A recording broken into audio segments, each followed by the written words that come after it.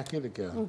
يعني إحنا مثل ما تفضلتي تماما أنا جاي عليها إنه في عندنا صعوبات موضوعية ناشئة عن الحرب وتداعياتها نعم بات هذا الموضوع يعني معروف. معروف للجميع. وهناك عوامل أيضا ليست موضوعية. كمان حتى نكون واقعيين. صحيح. يعني ال ال اليوم ال ال الواقع الإداري المترهل يساهم في تعميق هذه المشكلة.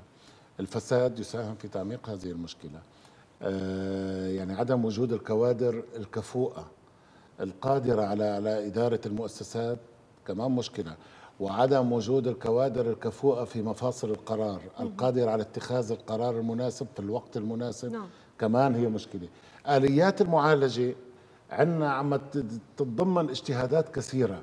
أحيانا قد لا تكون علمية وقد يعني من البداية نستطيع أن نحكم أنها لا توصل إلى الهدف المنشود ومع ذلك أحيانا نستمر بها.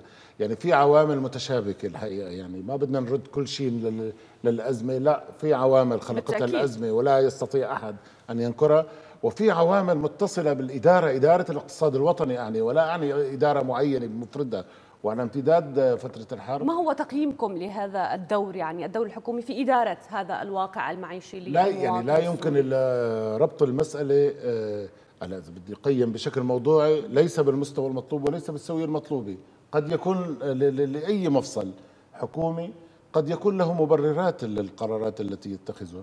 لكن ولا نستطيع أن نظلم مثلا حكومة بفترة زمنية معينة. لأنه المسألة أتت تراكمية من بداية الأزمة تعاقب أكثر من ثلاث أو أربع حكومات. نعم لا, أنا أتحدث عن يعني ال- الفترات الأخيرة التي ال- شهدنا فيها قرارات راهن. كثيرة بما نعم. يخص آه، اليوم المشاكل. حتى اكون منصف.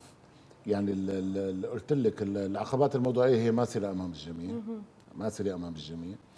والعقبات غير الموضوعية هي قائمة ولا يستطيع أحد أن ينكرها. بالفعل هناك آه، قرارات آه، غير منطقية أحيانا عم تكون آه، ما بتوصل للهدف المنشود. عم يكون في إصرار على بعض التوجهات التي لا تخدم ال- ال- الهدف يعني مسألة الرواتب والأجور. بقيت لفترة طويلة دون مقاربة.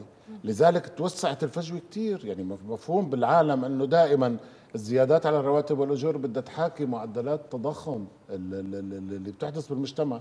طبعا أن هذه المسألة مستحيل نقدر نحاكي فيها معدلات تضخم لأنه بلغ التضخم معدلات هائلة. قياسية. ونحن ما عم نطالب يعني حتى كعمال آه، لدينا من القناعة ولدينا من الوعي والنضج ما يجعلنا لا نطالب بردم الفجوة دفعة واحدة. نحن عم نطالب بتضييق هذه الفجوة أول بأول وحقيقة في بعض الخطوات حتى لا أظلم يعني. وأكون موضوعي. يعني هناك بعض الخطوات المتمثلة في زيادات الرواتب وال- وال- والأجور اللي, طرأت. مثلا ال- ال- الصدر مرسوم كريم بدفع التعويضات على الراتب الحالي تساهم بتحسين آه، مستوى الدخل. بالنسبة للشق الإنتاجي مرسوم التحفيز الوظيفي اللي الآن في نعم. نهايات آه، أقرار آه، آلياته. أيضا سنتحدث بالتفصيل.